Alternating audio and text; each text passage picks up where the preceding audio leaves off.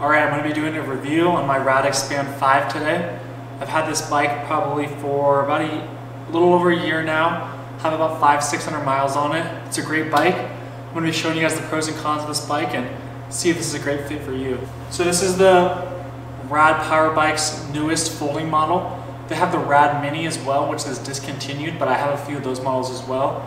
I actually own a commercial rental fleet here outside of Zion National Park in southern Utah. So if you're looking to rent electric bikes in the area, check out my company, Greater Zion E-Bike Rentals. This is a pedal assist e-bike, which means when you pedal, the motor will kick in and engage assist, as well as throttle. So I'll show you some of those features here. All right, here's the display on the Rad Expand. They got away from the electronic display that's traditionally on the minis and some of their other models, and they now have this plastic display. Uh, it doesn't really bug me, but some people do prefer the digital display. This is the difference. This is the digital display on the Rad Mini, which is kind of nice. It has your odometer, your miles per hour, your battery life, and your levels of assist. So to turn the e-bike on, you're just going to tap the power button. So you have your, your battery level up here and your level of assist. It starts in level 1 and it goes 0 all the way to level 5, which is the greatest level of assist. And you also have your headlight button here. As well as the pedal assist. You have the throttle feature right here.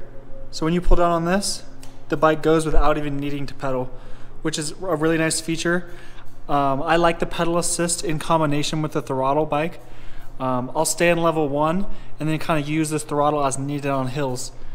It has a traditional bike style handlebar, which is nice. Seven speed shifting, rear and front brakes. So this bike's equipped with 4-inch tires. They got rid of the front suspension on the Rad Mini, and on the Rad Expand, no front suspension, just the fat tires. And you can see here the foldable latch. And that is what makes this bike so different and so amazing, is the foldable feature of this bike. All right, so I'm gonna show you guys how small this bike gets when you fold it up. So I like to put the seat down just to make it as small as possible. I'll orientate the pedals straight up and down release the latch. The bike folds around, has a little stand that it sits on, and then release the handlebars. And this thing is so small.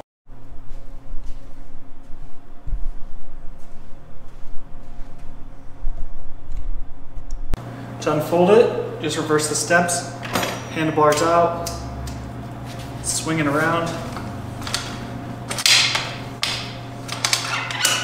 And you're back in business. So I'd say the top selling point to this bike is the foldable aspect. If you have an SUV and you need to put the bike in the back, um, this is a great option for you. You don't need a huge bike rack like if you have the Rad Rover or some of the other larger models that don't fold up. You're going to need a truck or a bike rack. This kind of bike, I put three of these in my Subaru Outback. So some of the cons of this bike, if you're going to be a rider that's about taller than six foot three, this bike might be a little small for you. The seat does raise up, but I'd say this bike more comfortably fits riders four foot 11 to six foot two. Anything over six two, six three, you're gonna be pushing a little bit and not gonna be able to fully extend your legs. For the price point, I think this bike is a great middle of the line e-bike. It's not the most expensive mountain bike, there's not full suspension, but for riding on paved trails, this is a great bike a great option. Uh, I have about seven of these bikes for my rental fleet and this is my most popular model. Another thing I like about this bike is that it comes with the rear rack. The Rad Mini doesn't come with the rack at all. This bike comes with a rack. You can also add on a front basket, so you can have a front basket and a rear rack. So right here we got the Rad Expand model with the front basket mount, so you can kind of see how this looks. See if this is an add-on you might want to put on your bike. So overall, great bike. I'd say one other con I can think about is the stock bells that come with the bike are not really great. This is a secondhand bell that I had to replace. The other bell I had snapped right off. Um, besides that, the bike rides really well.